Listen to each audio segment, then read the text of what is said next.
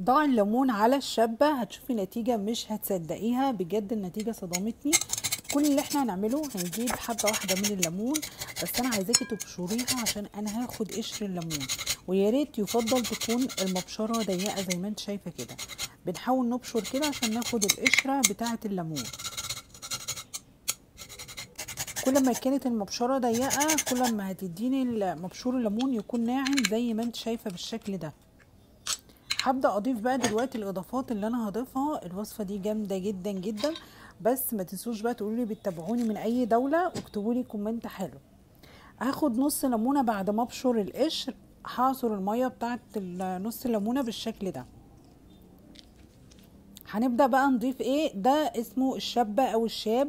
ده الحجر بتاعها قبل ما أطحنها. هتجيبيها من عند العطار بجنيه واحد بس كفاية جدا. هاخد منه معلقة من الشابه هضيف معلقة كمان من النشا. النشا طبعا حاجة رهيبة جدا في التفتيح.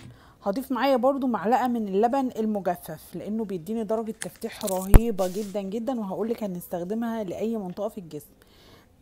معايا برضو هنا معلقة من مية الورد لأن مية الورد حلوة جدا للجسم وبتخلي التبييض فظيع. هنضيف عليها معلقة من جل الألوفيرا أو جل الصبار. ده بتجيبيه جاهز أو بتجيبيه آه انت بتجيبي الزرع وبتطلعيها منه. هبدأ بعد كده أخلط بحيث إن أنا أدوب المكونات كلها مع بعض. هتبقى معايا زي ما انت شايفة كده. هضيف بقى معايا هنا زيت جوز الهند أو زيت اللوز الحلو. ليه بقى؟ عشان بيدي يعني بيخلي الجلد طري كده وملمسه ناعم. لو عندك زيت الزيتون برضو بينفع معايا في الوصفة دي. هبدأ بقى أستخدم الوصفة على أي مكان فيه اسمرار في الجسم سواء الرقبة أو الكوع أو الركب البشرة منطقة ما بين الفخدين تحفة تحفة يا بنات جربيها وهتشوفي. هاخد بقى معايا هنا الفرشة بتاعتي ويفضل إنها تكون ناعمة عشان لو هستخدمها برضو على الأماكن اللي هي بتكون ناعمة في الجسم زي البشرة كده. هبدأ أدهن بيها جسمي بالمكان اللي أنا عايزة أديله درجة تفتيح بالفرشة بالشكل ده. هسيبه بقى على المكان ما يقلش عن عشر دقايق أو ربع ساعة. مش هغسله بالمية على طول. هبدأ أفرك كده بحركة دائرية بالشكل ده.